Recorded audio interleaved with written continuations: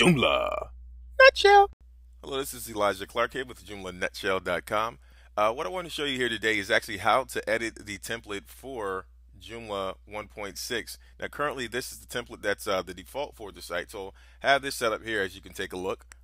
Now, say if I just want to change these colors or change some things about this template. So, I'm just going to first show you how to change the colors or and edit and uh, edit the CSS content and HTML content. Uh, so what I need to do first, I actually need to log into the back end of the website, which is going to be yourwebsite.com slash administrator. Now, once I'm logged in there, it'll actually take me directly to the control panel. And on the control panel, as you can see, there's many tools here. Now, one that you can click is called the Template Manager, which is on the bottom left side, or I can just go under Extensions and then go to Template Manager from there. Now on this page, it actually shows, it's going to go to styles first and actually show me the different styles of the uh, templates. As I can see now, this is the default template for the administrative port, part of the website, which is what we're currently looking at, this template here. And then on the front end, just showing that this is the default for the front end, which means that's that blue one that we're taking a look at right now. So if I want to just click on that default for the front end, here it is. I want to click on that, and it'll actually bring me to the back end for that template. I'm able to edit that template style directly from here. Now I, I can check the change the wrapper styles, the wrapper uh, large styles percentage actually, change the logo from here, and the name of the site, and also the site description. As you can see, the logo is right here, and the site description is right here. If I wanted to change that, I will simply change this content in here. And of course, you want to add your site name here also as well. But this is how you change the logo and then the site description. Now, I don't want to get into that just yet because I do want to create another tutorial for that. However, I'm actually just going to go down to template color and then just change that template color. And then I'm going to click save. And that's going to change it on the front end here.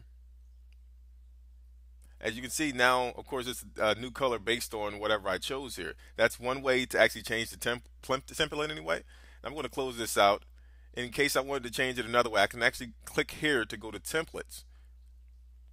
And then once I go to templates, I'm able to go down, scroll down to the template that I actually want right now. And that's the one that's on the front end, which is this one. So I can click on this and then I can edit this page as uh, much as I want actually. I can uh, click here and go to edit the HTML for the website. And this will just allow me to edit these changes and change the module positions if I don't like where they are. You can make a lot of changes here. Now, of course, your footer's here. So if you want to add something different at the footer, change some module positions, as I mentioned.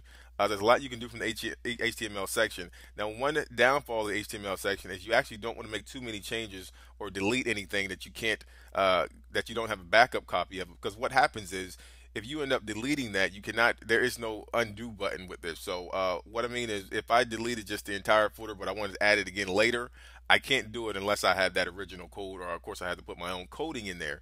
So you don't want to mess with this section too much if you don't have to. Now, of course, let me just go back here.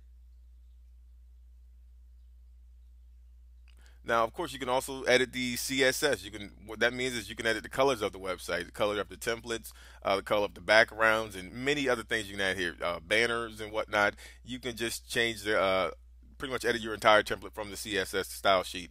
So that's what you're looking at. That is how you edit your template. Uh, there's many different ways to do it. Uh, you can also go into the FTP of your website and find these files here, and you can uh, edit it that way if you chose to. However, from the Joomla website back in administration portion, that is how you edit your template.